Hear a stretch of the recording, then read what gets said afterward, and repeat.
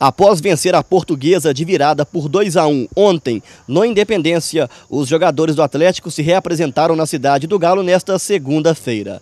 Quem jogou trabalho regenerativo. Os demais foram a campo, assim como um novo reforço, o zagueiro Emerson, que estava no Coritiba. O foco agora volta a ser a Copa do Brasil. Quarta, às sete e meia no Horto, tem o jogo de volta das oitavas de final contra o Botafogo.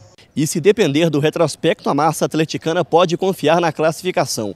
Neste ano, o Galo venceu 17 jogos por mais de dois gols de diferença. Doze deles foram no Independência. Acho que desde quando a gente começou a, a decidir jogos, a gente sempre.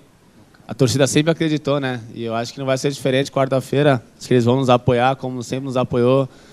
E a gente, acostumado com essa, essa coisa de decisão, a gente tem que ter a mesma concentração que teve das outras, o mesmo empenho, acho que o mesmo mesma cabeça tranquila, saber que é um jogo difícil, mas que também é possível. Então a gente tem que estar bem, bem concentrado, bem focado para poder sair a classificação.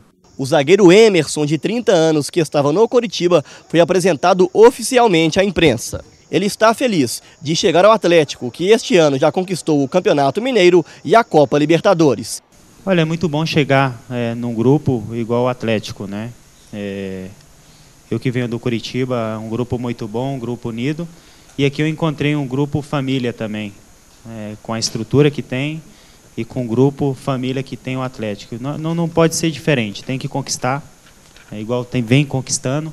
Então é muito bom che chegar nestes momentos, né? Momento bom do clube. É, eu, como bom brasileiro, estava Estava na torcida pelo Atlético na Libertadores, né? E hoje estou aqui, né? É, com a graça de Deus. Então você pode ter certeza que estou bastante feliz.